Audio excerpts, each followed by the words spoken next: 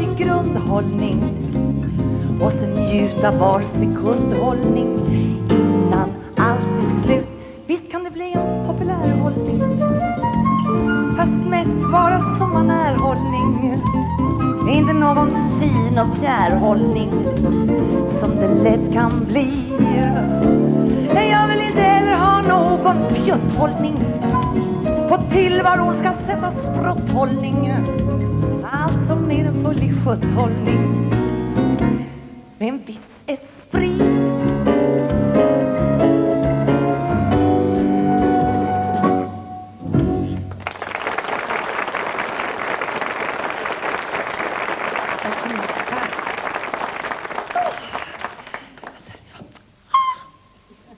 Så, så känns det idag.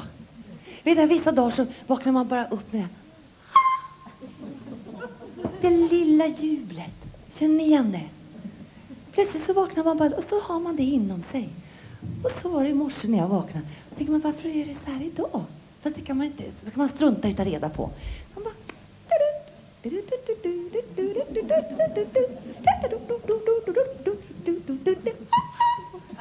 lilla jublet.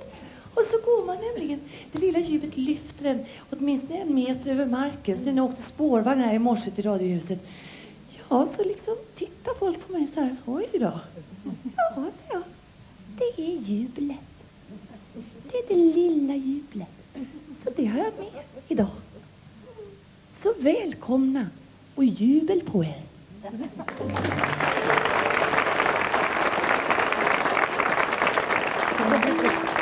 Jag kom plötsligt att tänka på det här med att göra entréer. Alltså att ta sig in, från att ha varit osynlig och så ta sig fram och in och göra sig synlig. Jag vet inte, ni kanske har upplevt det? När man alltså ska hålla tal och man sitter och väntar på att man ska hålla tal eller någonstans så ska man göra ett offentligt framträdande. Eller man ska bara, bara det här med att gå genom en restaurang. Ni var med om det? Och så känner man sig åh, nu ska alla titta. Och det här med att göra entré och stå här bakom någonstans och bara vänta och sen gå fram. Alltså om jag skulle bara gå på känslan och hur det känns, då skulle det se ut så här.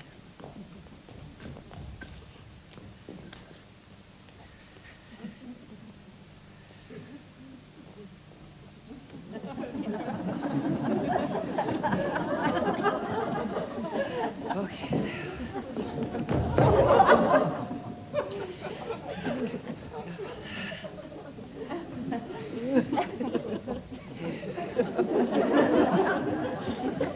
Hejsan och eh, hjärtligt välkomna.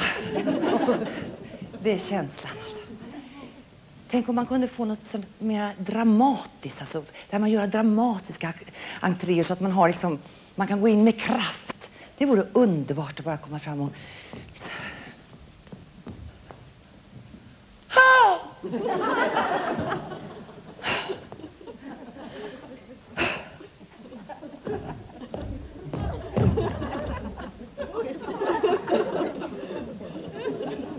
Detta är en underfundhållning. Lite roa sig. Roa sig en stundhållning. Ah. Eller har sett mannekänger när de tar sig in? Mannekäng- Strax ska jag vara med dig.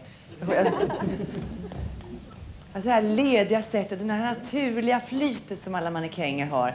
Så när man ger sig in.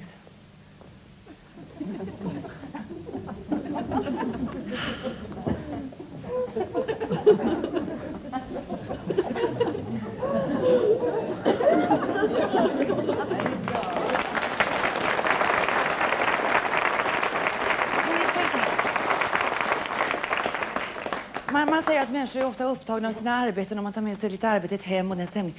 Tänk liksom att fortsätta så här komma. Hej älskling. Vill du ha kaffe? Ja.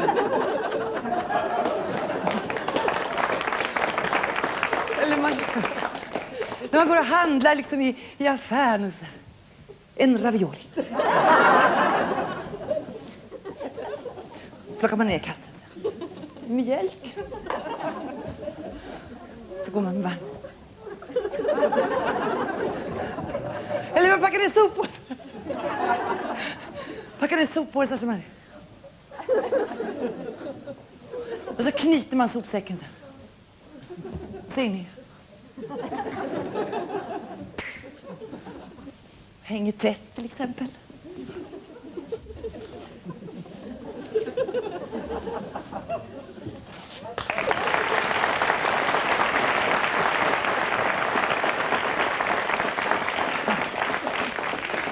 Åh, ni alla välsignade kvinnor som vet hur en slipsten ska dras.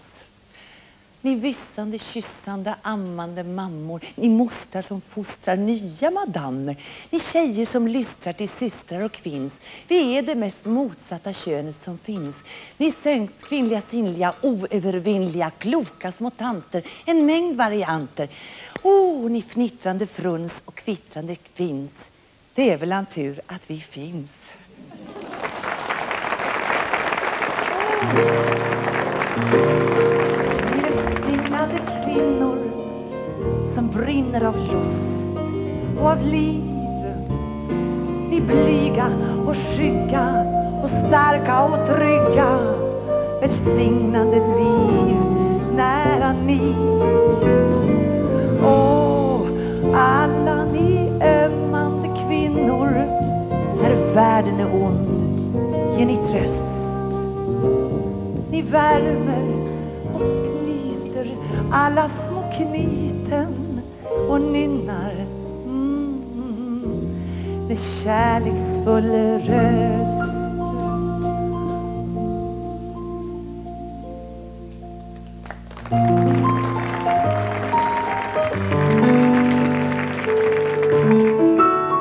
Rosa Linda heter hon.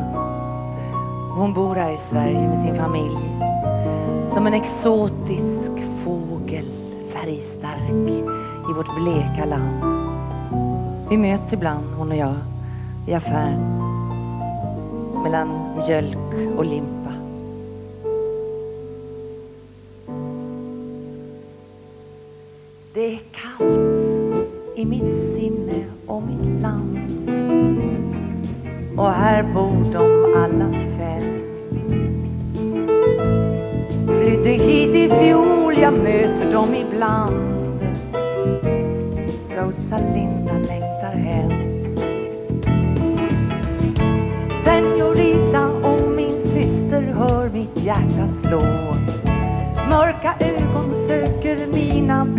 Välfärdsblå. Ingen behöver tala, men allt som låg i dvala vaknar av att murarna rivs ner när Rosalinda ler. I affären nya varor, nya ord i vårt nyuppstigna land. Jag ser dem gå omkring och ondskan på vår jord håller Rosalindas hand. Varma vågor väller innanför mitt svenska skinn. Starka dofter, sköna rytmer följer med dem in. Som i ett marknadsvimmel mot hennes hemlands himmel. Södra korsets stjärneglans ja det är när Rosalinda ler.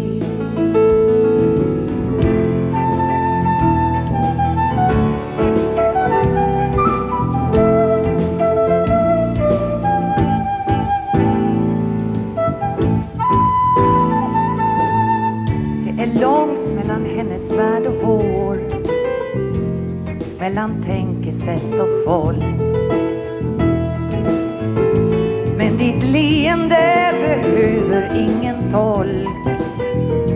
Rosalinda, jag förstår. Senorita, och min syster hör mitt hjärta slå. Mörka ögon söker mina blinda välfärdsblå. Ingen behöver tala. Men allt som låg i dvala vaknar av att murarna rivs ner.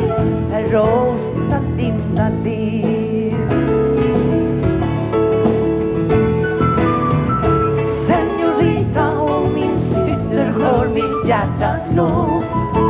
Mörka ögon söker mina blinda välfärdsblå. Ingen behöver tala.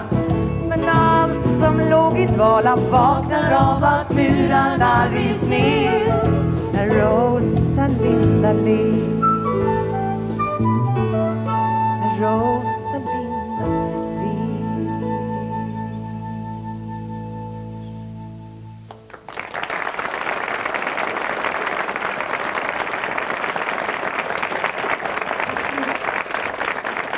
Jag kommer att tänka på sån här, när man ser den här skyltdockan. Då tänkte jag på att det kanske borde stå skyltdockor lite varstans ute i vårt samhälle. För att vi, vi behöver ju nästan alltid någon att prata med och så lever vi så fort och vi har ju inte bikten och vi har ju inte doktorerna, det är en kvart eller så. Och sen så, så, så behöver man prata med någon och har man inte väninnor så tänkte jag att man skulle kunna, om man hade skyltdockor så man bara... För frågan är ju mer om att att få uttrycka sig själv. Oftast behöver man inte så många svar. Utan svaren har man själv. Bara man får tala om det högt så man liksom kommer utanför sig själv. Ja, ni förstår vad jag menar. Det är lite allvarligt. Så jag tänkte, kommer jag att tänka på i affären så här. Det här att, att få råd, råd, bråka sina åsikter och sånt där så behöver man ju inte egentligen någon annan människa som säger jo så där är det eller så är det, är det inte. Utan mest att man får, får komma och säga god dag. Ja, Eh, jo, det är så här, jag stod och tittade i skyltfönstret på de här skorna som var i fönstret. Ja, de blåa. Jag såg att de kostade 250 kronor. Jag vet inte. Sen, sen när jag kom in här och tänkte jag skulle ha de där skorna så såg jag just att det fanns ett par som, som kostade 1100. Men det är hemskt mycket pengar, det är det. Tycker ni inte det? Ja, jag tycker det. Fast det är klart, det är ju krokodilskinn.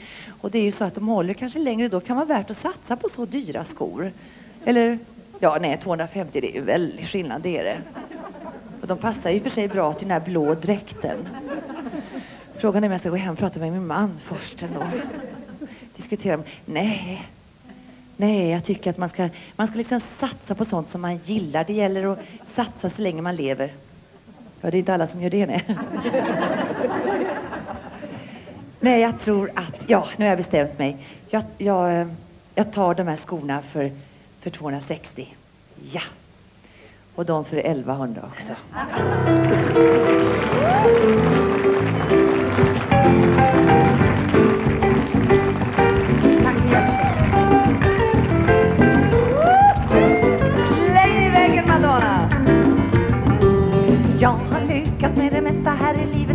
Jag förstår hur det kommer sig. Fast en del har meriter och jobbar och sliter så får det se sitt slagna utan lilla mig. Jag har andra siffror än IQ och betyg för sådana spelar ingen roll i och för sig. Jag har 100,5 och 94,3, 59 om jag skärper mig. Jag har aldrig haft förmåga till och aldrig någon begåvning för att spara eller handskas med penningar. Ändå har jag diamanter och många andra pälsar och jättegarderob med dyra klänningar. För det har visat sig att pengar finns det riklig tillgång på så visst man bara skapliga känningar.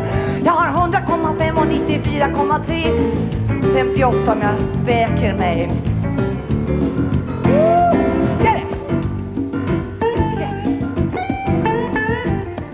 När jag går in på posten har jag inbyggd bankbok om den bakom disken är mansperson. Då liksom lägger jag fram mina 100,5 och frågar går det utan legitimation och tro. Jag börjar rodna och blekna och räkna och räkna och så sätt har jag fått en halv miljon. På mina 100,5 och 94,3 64 när jag sätter mig.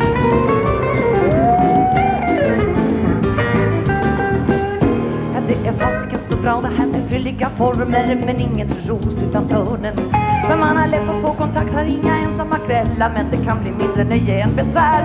För har man 100,5 och 94,3 mm, Så står man kanske plötsligt där. Med 130, 130, 180,5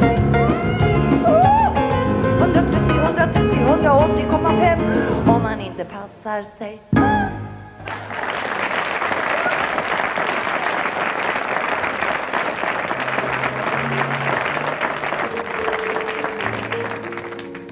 Är ni ensam ikväll?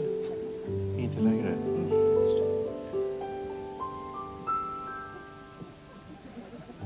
Vad än sker så vet du att jag är här hos dig.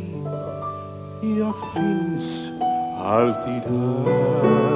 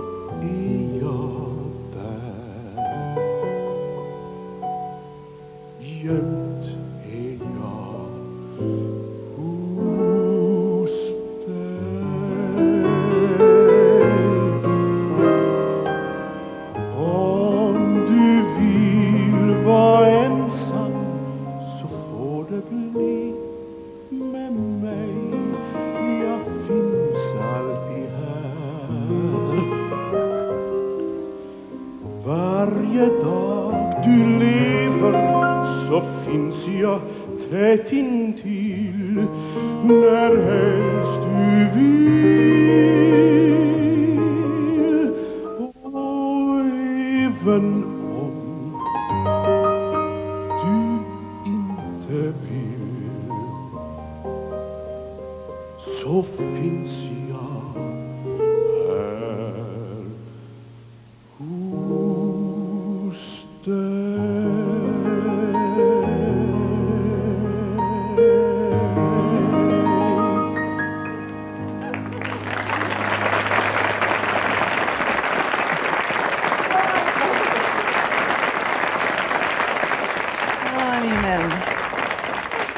vill ha som alltså souvenir? Nej.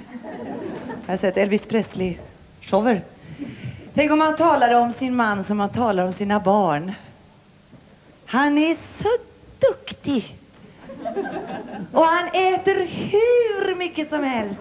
Och han har blivit så tjock och god runt om magen. Ja. Och så när vi har gäster så blir han så uppspelt. Ja, visst. Och han pratar och pratar och pratar och han kan så många fina ord. Och han går till vem som helst. Och så på natten när han har gått och lagt sig så somnar han så förnöjsamt. Och så sover han hela natten igenom utan att vakna upp och vilja ha något. Och så på morgonen när han vaknar, ja då ligger han där så lycklig i sängen och leker med sina saker.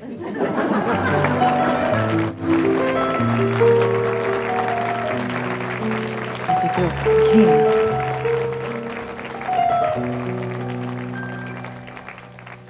Mitt i natten sitter Ellen och spelar piano här i baren mitt i natten och hon sjunger för den som As time goes by är nästan klar. Bara fyra gäster kvar. Ingen lyssnar. Mitt i natten. Och någon sa att en gång har hon vunnit i en tävling. Mitt i natten och sa att hon visst gjort en platta och att de spelat hennes sång på lokal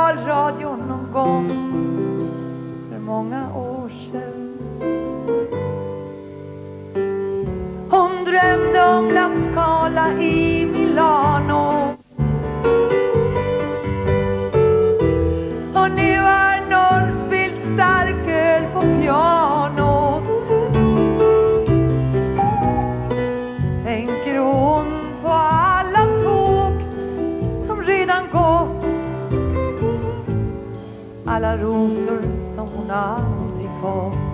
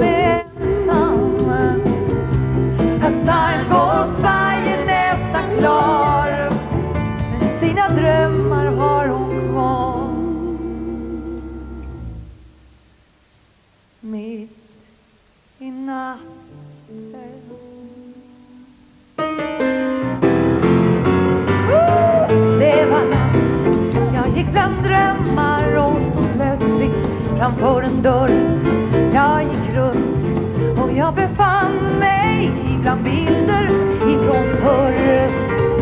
Runt och bara njöt av att möta för länge sen Att de kom fram och de sa till mig När du vill så kom igen. Ja, ja kom igen, kom igen, kom igen, kom igen, kom igen. För det du ser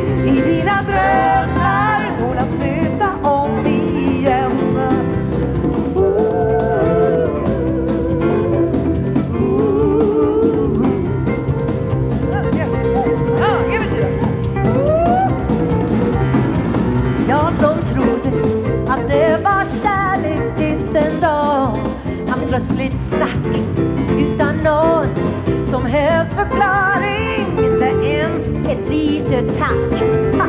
Så jag blev faktiskt förbannad och röt till i tasen Jag tror det var i elva timmar som jag inte tåg men.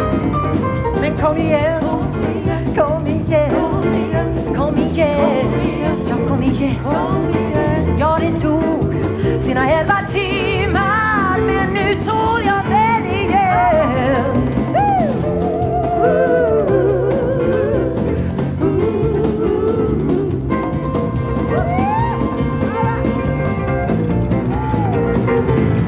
Var finns en väg som lagom slutar framåt och är rak och som leder mig till en plats där allt är tillrätt smak Det kan tyckas dumt och galet att försöka att hitta den men jag hör en röst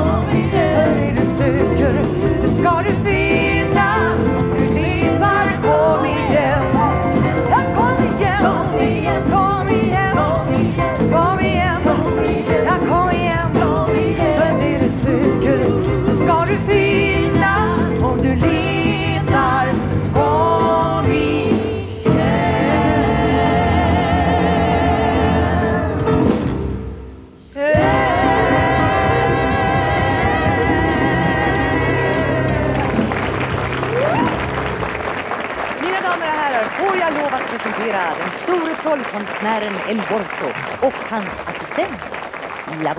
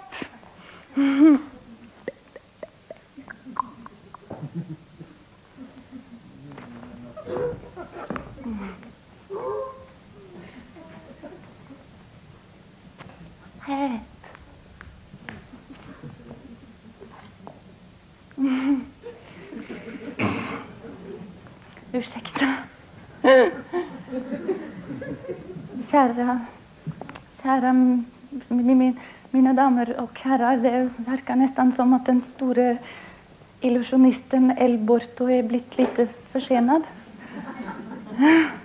Han skulle varit här nu och fått saker och ting att försvinna men eh, nu är det visst han som har försvunnit.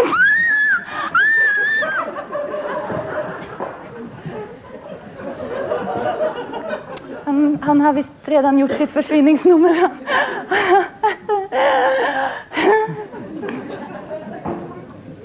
Han, han skulle kommit, egentligen kommit in här. Nej, så här. Här skulle han kommit in med sin fantastiska katta och hatt. Nej, nej, kappa och hatt. Åh gud. Han, och sen, eh, sen skulle han gått, gått bort här egentligen.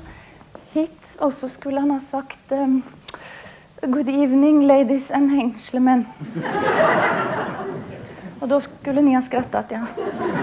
Och um, rätt efter det då så skulle han ha berättat en väldigt rolig vits.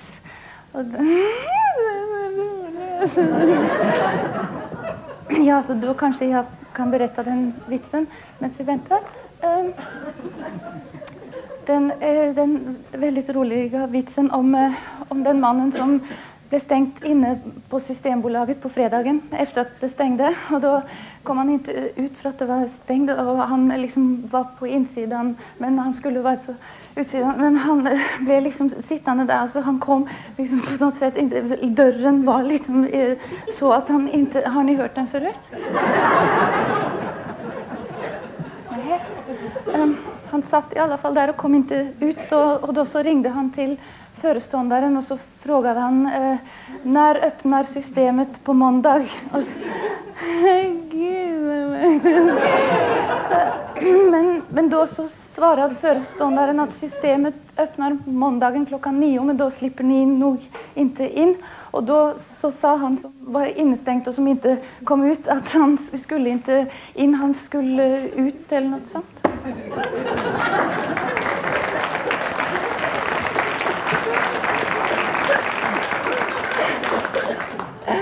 Och då, då skrattar ni så ni kissar i stolen.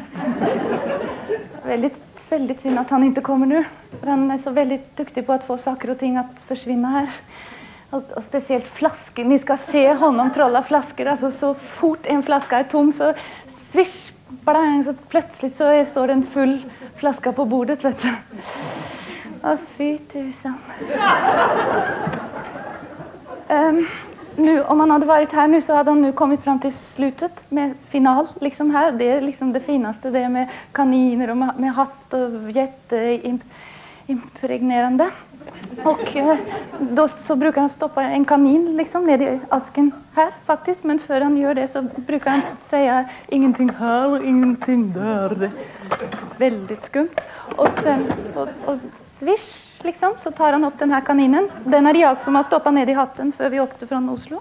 Och så tar han liksom den kaninen då och lägger ner den i asken här och så bara stänger locket fort som väldigt fort. Och så är det ketchup i flaskan här och, och så tar han liksom sin trollstav och så säger han hux flux fick nux eller något sånt. Några gånger säger han bara fick nux. Och sen och svitt blang så plötsligt så är liksom kaninen inne i ketchupflaskan och så är asken full av ketchup. Hett.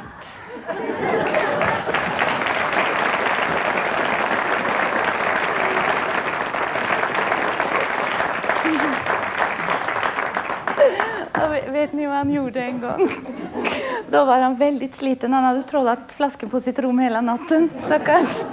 Då, då försvann liksom ketchupen från flaskan som den skulle här. Men när han öppnade asken så låg det bara en röd kladdig kanin och gulpa ketchup. Då, då kunde man liksom tagit kaninen här och sen korv här och så... Och det glömmer jag inte om jag så blir 39 år alltså.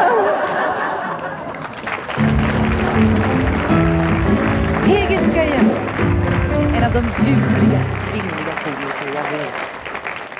Åh, ni välsignade kvinnor som slåss med alla roller här ute och alla roller här inne i vår egen labyrint.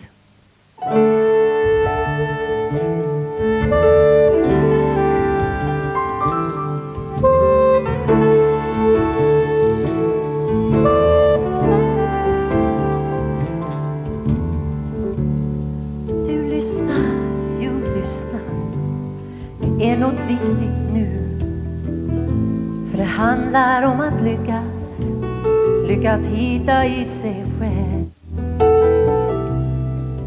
Ingen tydlig karta finns Den med start och mål? Och hur ska jag kunna välja väg När kompassen saknar nål jag var i Eslöv, i Sveg, i London och i Paris häromdagen. Jag hittade rätt, det var ganska lätt. För där fanns en följdriktig plan. Men i lust och smärta, i själ och hjärta, ja där slår lokalsinnet slint. Där går jag vilse jämt i min egen labyrint.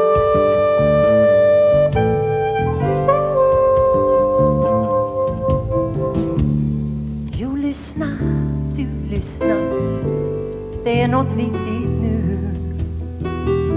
För det handlar om att lyckas hitta i sig själv. Lule älv och Pite älv, det kan jag peka ut. Men var är källan till mig själv? Var är början? var är slut? Jag klarar Sundsvall, jag klarar Rom Kunde skilja nog ifrån syd Men det är inte lätt att på samma sätt Ta rätt på sin attityd. Det här är jag, men en annan dag Kan jag irra fruktlöst och blint. För jag går vilse jämt I min egen labyrint. Så kom och hjälp mig leta. Jag vill veta vad jag är och hur jag ska gå. Att snitsla banan har de glömt och skyltarna är för få. Fast upptäcktsfärd i mig har världen måste målet hägra ändå.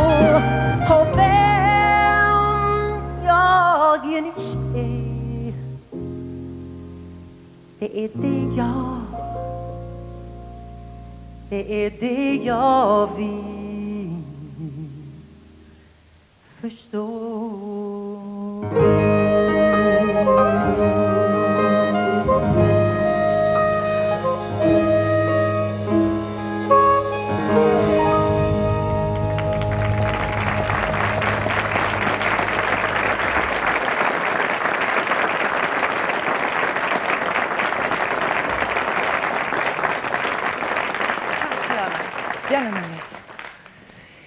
Även rollerna förändrar sig beroende på betraktaren.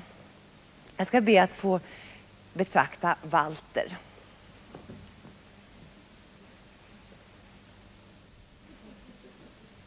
Mitt namn är Marianne.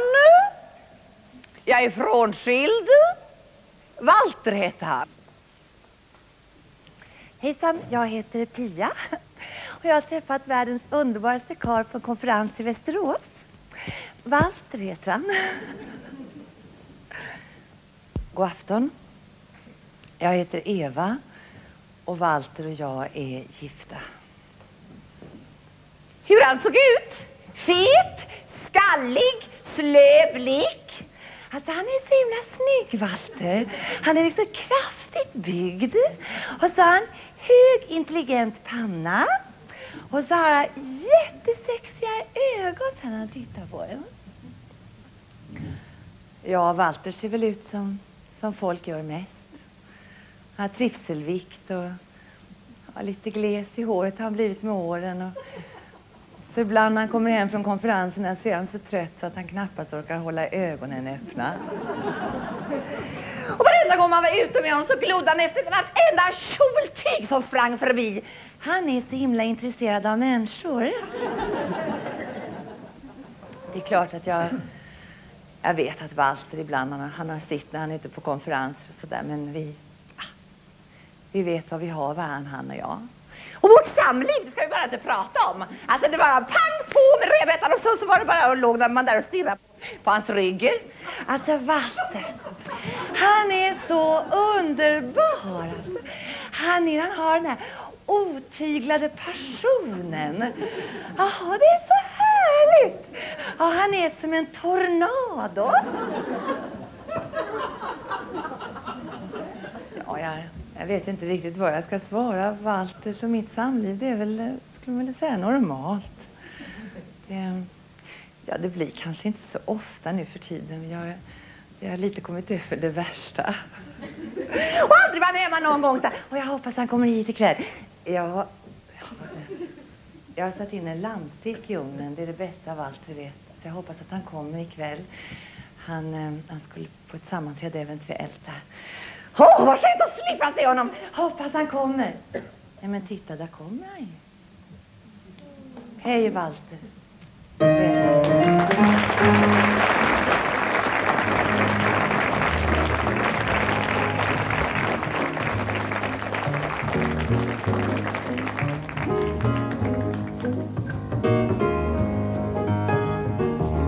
Presentera fiffiga Anette och hennes make Ivar von Sprätt. Han sköter hennes affärer på något sätt och resten får ni räkna ut själva. Och nu står afton klockan elva. Sportiga Marie har min sympati, hon är toppen. Hon får göra sin plikt ut i sitt distrikt med hela kroppen. Hon har inga krav, lider inte av divalater. Tar till sin säng, herreman och dräng, bönder och soldater.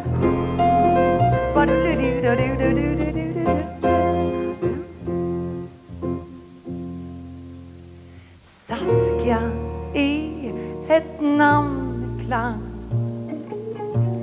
Hon jobbar på ett pilsnerpang. Häller upp öl till grabbarna. Grabbarna tycker hon är bra. Grabbarna tycker hon är bra.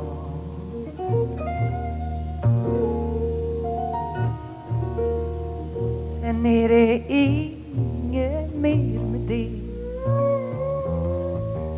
Saskia, hon är vindögt sen Fast hennes blick är ren och klar väcker hon löje hos en var? Väcker hon löje hos en var?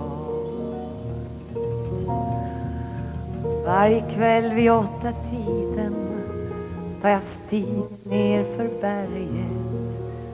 Och så hoppar jag på bussen som går till Copacabana. Jag har badat, jag har duschat, luktar gott om hela kroppen. Och så börjar jag gå och jag tål att tittas på. Dansa samba med mig. Aj, aj, aj, aj. jag är bra. Jag är bra. Har du tid och pengar så köper du min samba. Ja, har du tid och pengar så köper du min samba. När man går på Copacabana har man havet till vänster. Jag ser rakt framåt och ser på den jag möter. Vill han köpa min samba så går det alldeles utmärkt. Den som prutar får gå för jag tål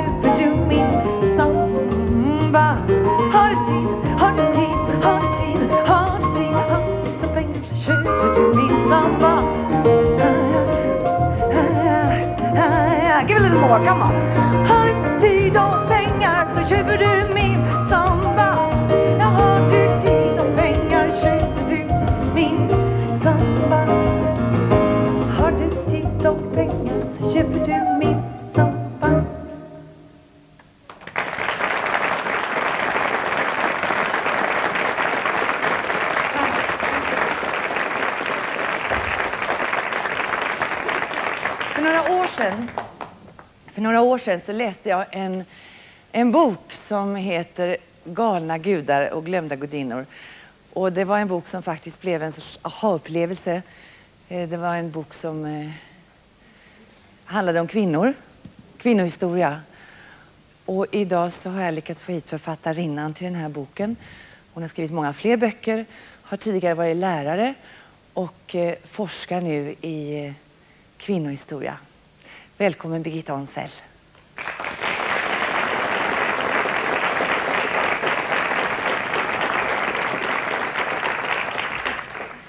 Ja, jag var så fascinerad av den här boken.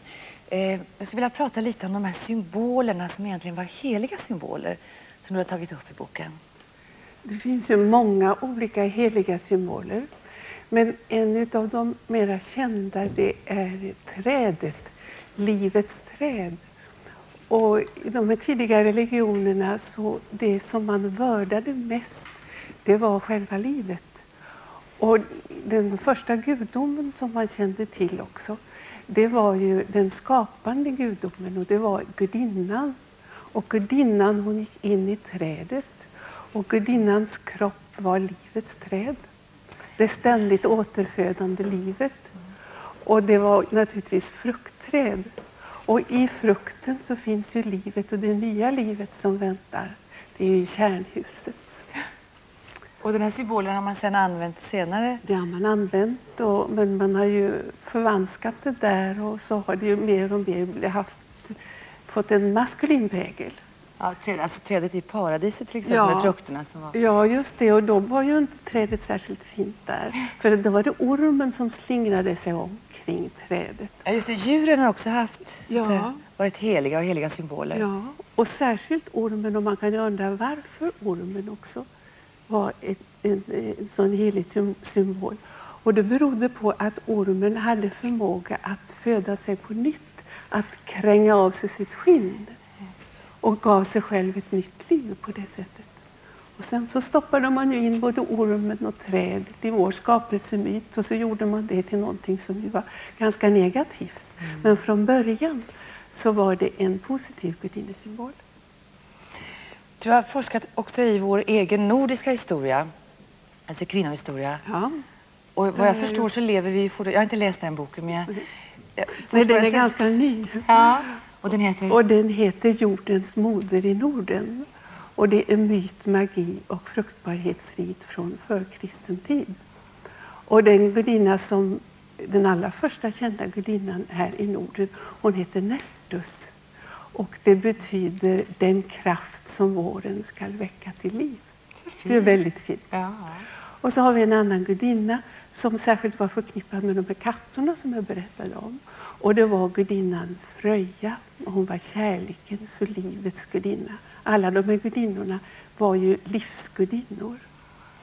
Kommer, jag ska fråga en annan sak Ja. innan jag går, fortsätter med Fröja. Mm. Eh, du pratade någon gång om månens cykel.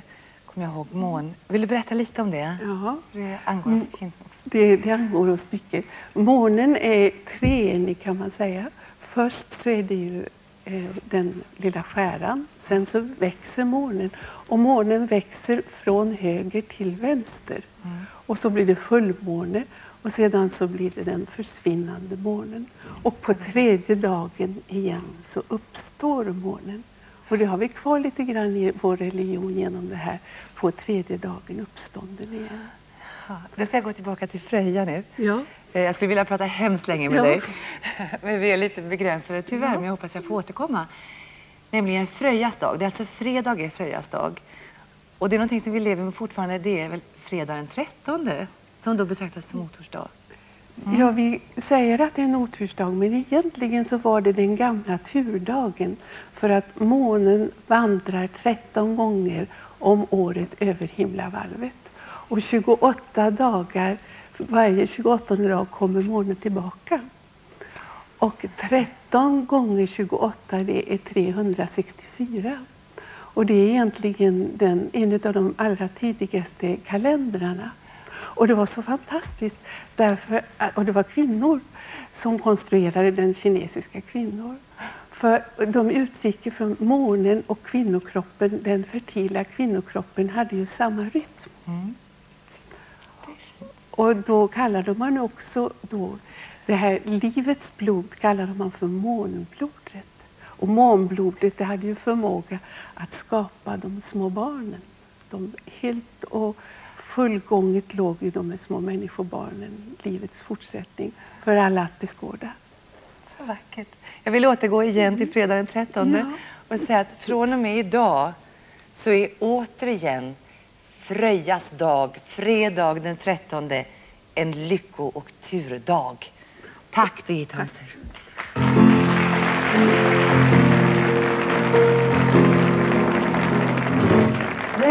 a place for us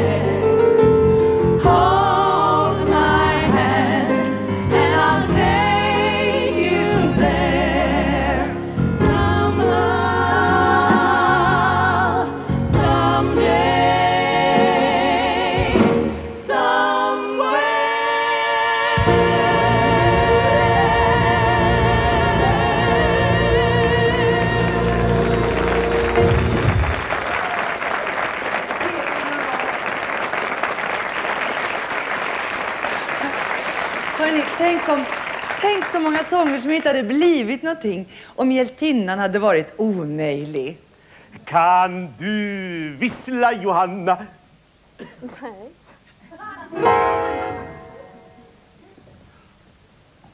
Får jag lämna några blommor? Nej Ett par tack, jag har. Får jag bli din tangokavaljer blott för några timmar och... Förlåt? Ja? Ikke kan jeg plystre, ikke kan jeg danse og blomstre, og jeg nok er hjemme. Jeg skjønner ikke et pip hva du sier, for jeg er norsk.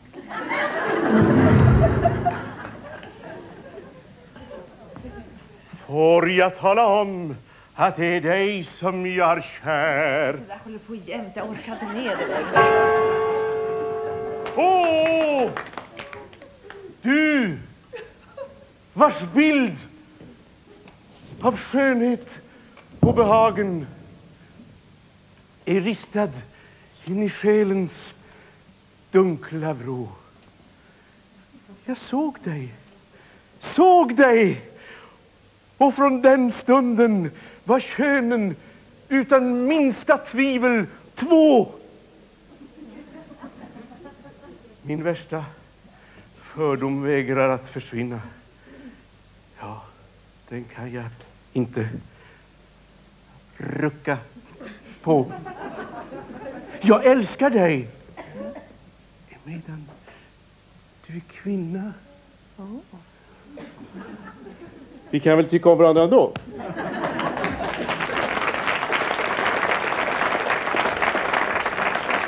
Inom operan. Inom operan, där kan de. Där finns det fortfarande kvar passionen och uppvaktningen sånt som vi behöver. Och sensualismen.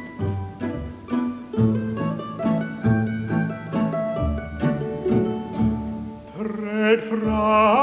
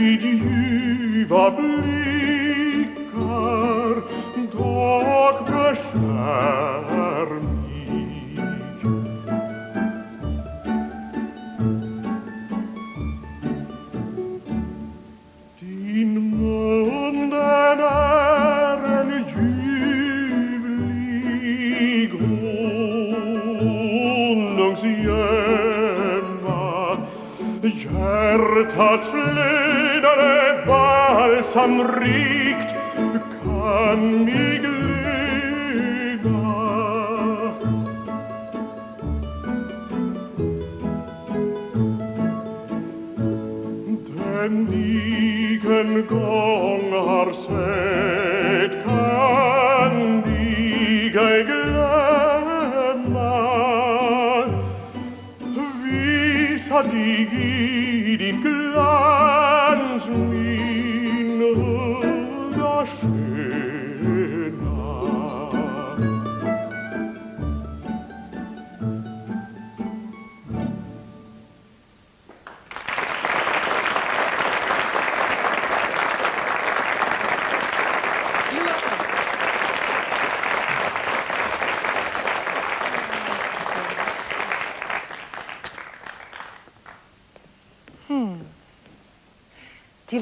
kvinna född. Ja, visst. En njutning och en glädje. Men eh, då och då behövs ett komplement. Det får ni medge.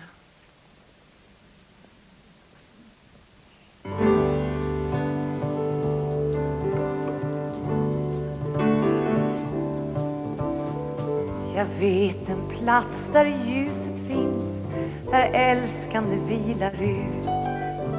Jag hör en inre melodi till livet en tribut. Där stora män blir barn igen, där livet har bytt scen. Det brinner i en soluppgång, kom gör min ande ren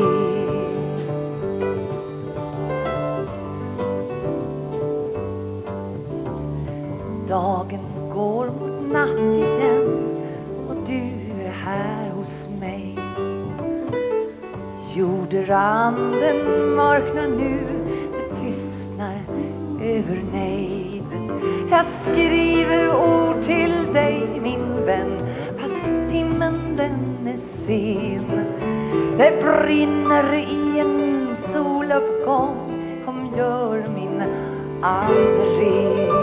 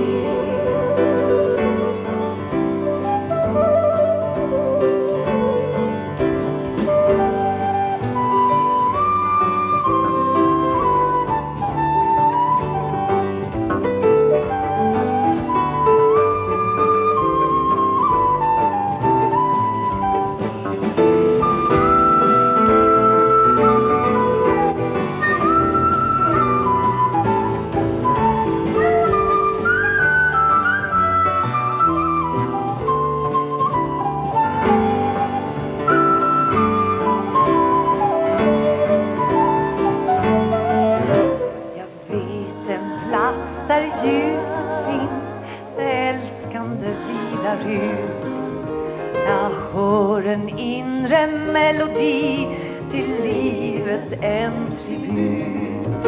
Där stora män blir barn igen Där livet har bytt scen Det brinner i en soluppgång Kom gör min ande ren det brinner i en soluppgång Kom gör min ande ren